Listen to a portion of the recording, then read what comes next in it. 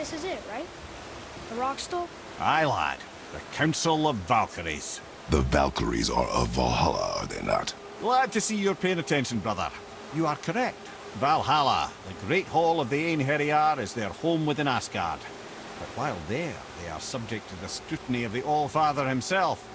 And relations between the Valkyries and Odin were tense during my tenure as his advisor. Why? Well, that's an even longer story, lad. For now, why don't we look around for some clues?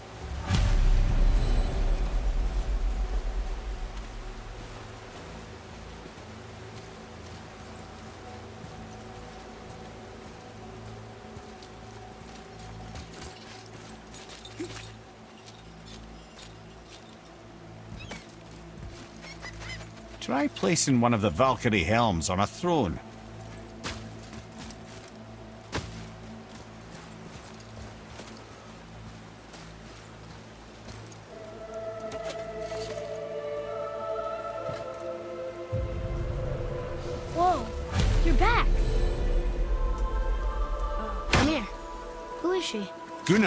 Mistress of War. After any conflict, big or small, she would be first on the scene, sussing out the worthy spirits for a free trip to Valhalla. A gruesome task, but she took great pride in it. Any conflict. Impossible. It's true. She had help from her sisters, of course, but Gunnr was always first to arrive. Her judgment of the fallen was unparalleled, and an invaluable resource to Odin. She was one of his favourites.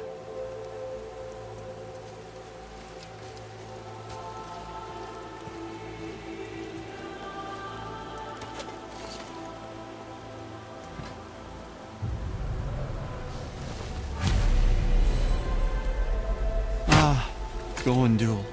Beautiful Gondul. And? Huh? That's it? Beautiful Gondul? No story or anything? Uh, oh, sorry, lad. The sight of Gondul always took my breath away.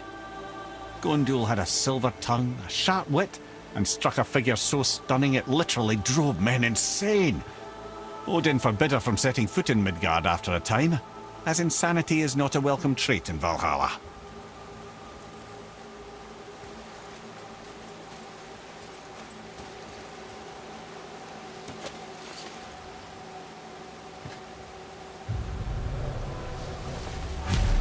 This is none other than Geirdriful, the Master of Arms in Valhalla, responsible for arming and training Odin's Einherjar. His what? His army come Ragnarok. The entire reason Valhalla exists, you see. The Einherjar wait in the Great Hall endlessly, feasting, drinking, and fa... ah, fornicating themselves silly. Once Ragnarok begins, Odin calls them into service to fight on his behalf. Geirdriful had her hands full training that lot.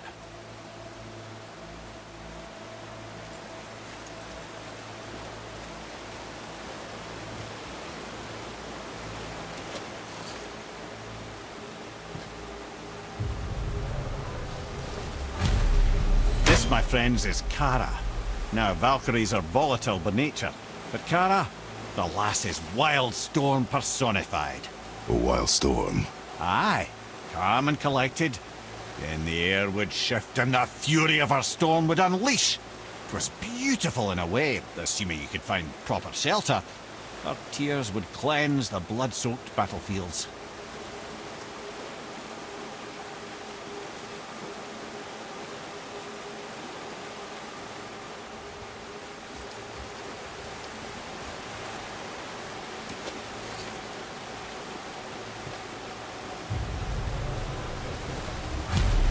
Is Rota, a chooser of the slain. I thought all the Valkyrie did that. Not exactly, lad. Although that is what they're most famous for, and by far their greatest responsibility. You've seen what happens to the dead without the judgment of the Valkyries. Hellwalkers. That's right. Rota, Gunnr, Skuld. Without them to clean up the aftermath of battle, hell overflows with souls meant for Valhalla. A sorry state of affairs. Rota must be beside herself.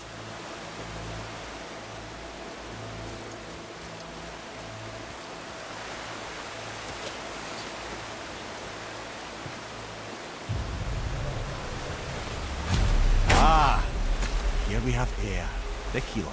A Valkyrie healer? Strange. Eir was strange, as a matter of fact. Very quiet, very calm. Where her sisters were violent rapids, Eir was a gentle stream. She healed the wounds of both mortals and gods, and even a certain all-knowing sage who once drank too much and fell off a mountain. Ugh, not my proudest moment.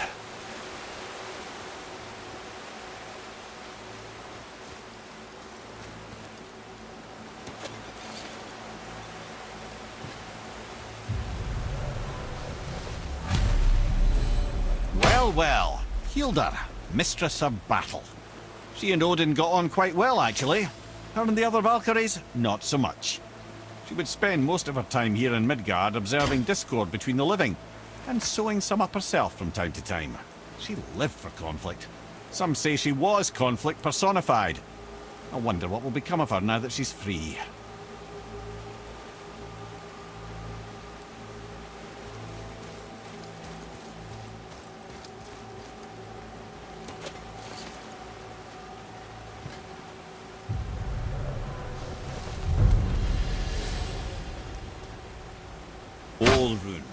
Once the daughter of a powerful chieftain. She fell defending him during a Reaver attack. Olrun was escorted to Valhalla, where she chose to devote her afterlife to the pursuit of knowledge above all else. Quite unusual behaviour amongst the constant drinking and feasting of her fellow Valhallian denizens. How'd she end up a Valkyrie? Odin. He saw a kindred spirit in Olrun's single-minded pursuit of knowledge. He appointed her as the Valkyrie's resident historian.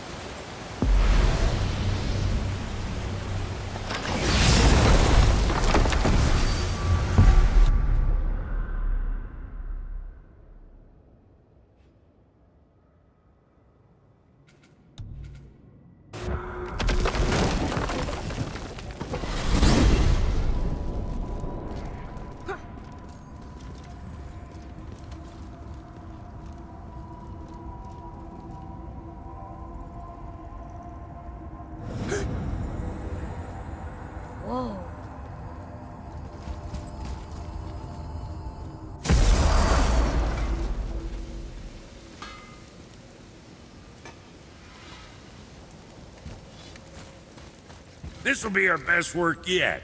Just need a little help from you lot.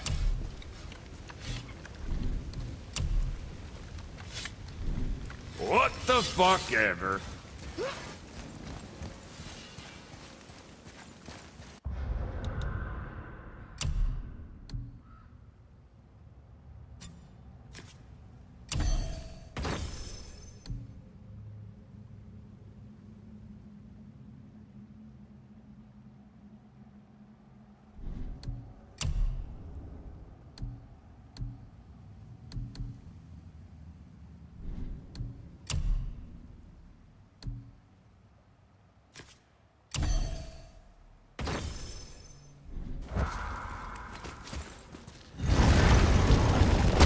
Key has got to be for that crazy door downstairs, hidden around the back.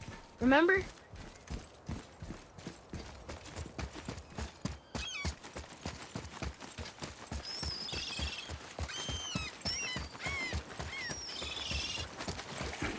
I'm glad Brok and Sindri were able to work out their differences. Now they are twice as irritating. Ah, I think it's nice to see them trust each other again.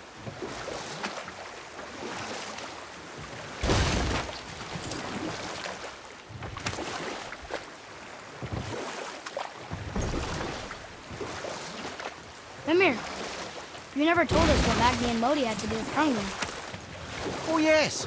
Well, what happened after Hrungnir fell slain upon Thor was that nobody in the court could get the stone body off of him. Thor was no use at this point, his brain rattled, his breath shallow, but none of Odin's men were nearly strong enough to help. Then enter little Magni and Modi, no taller than shrubs.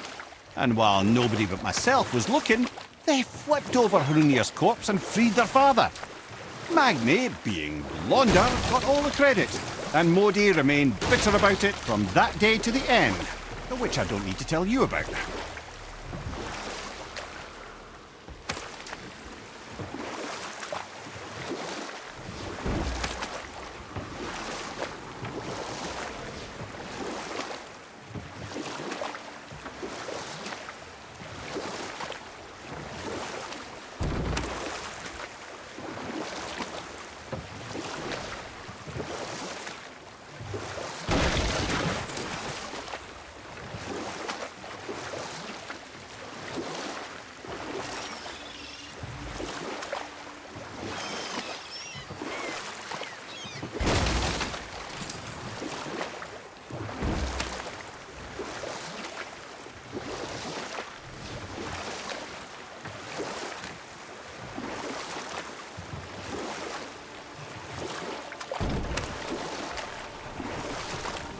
Can't believe no one has found the Jotunheim Tower after so many years. Where would you hide something that big?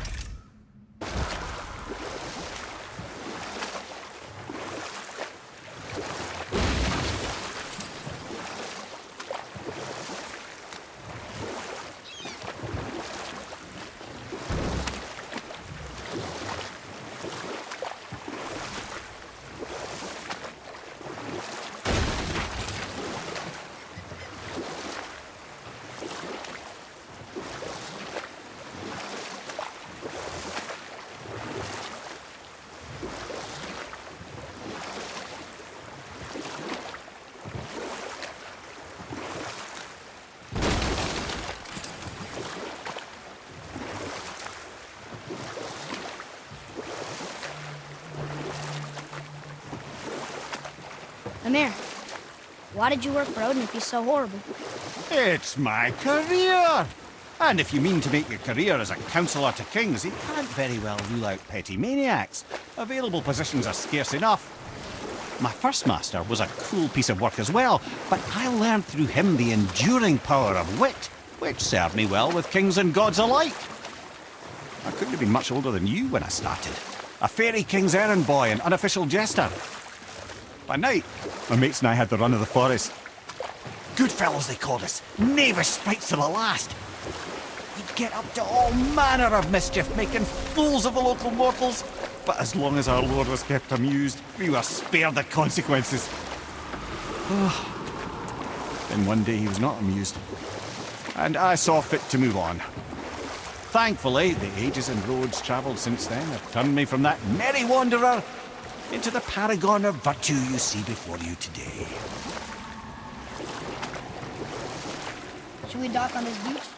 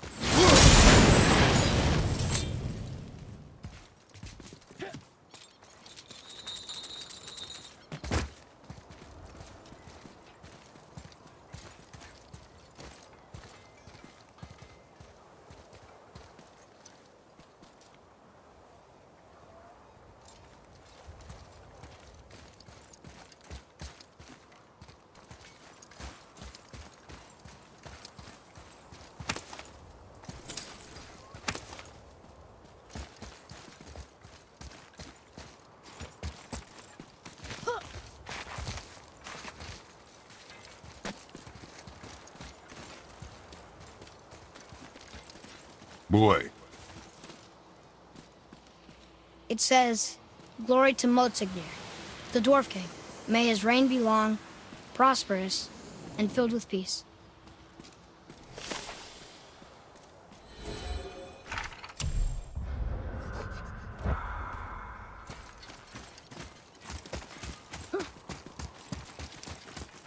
Greetings, and welcome to Konunsgard.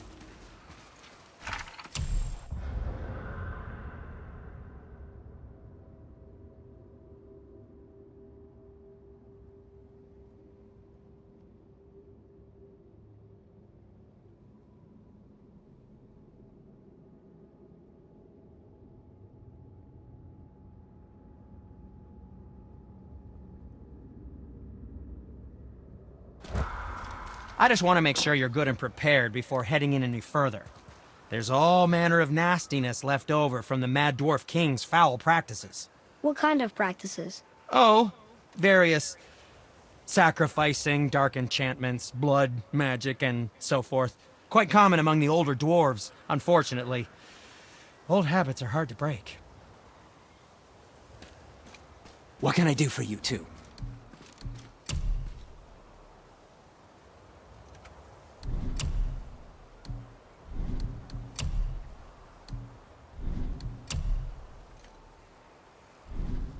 Or, never mind then.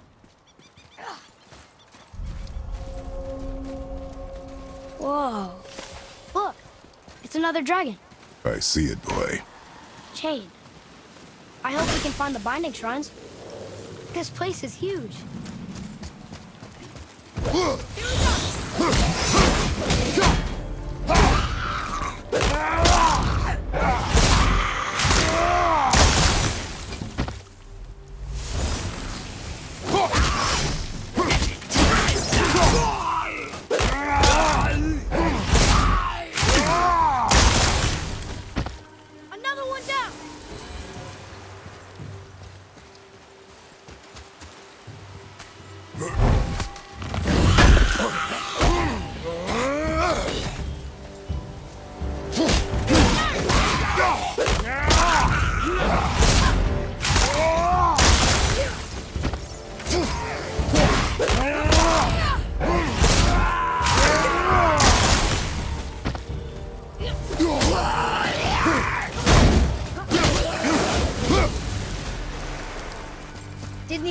Break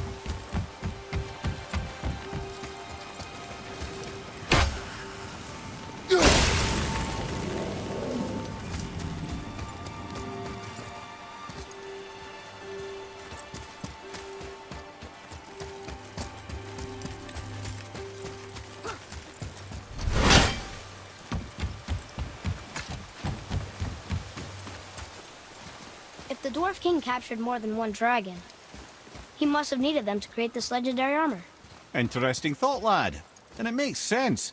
Nearly everything about dragons is useful and contains power. Teeth, scales, even excrement. Dragon shit is powerful? Portly powerful. Red is having fun with you. Oh, I, I knew that.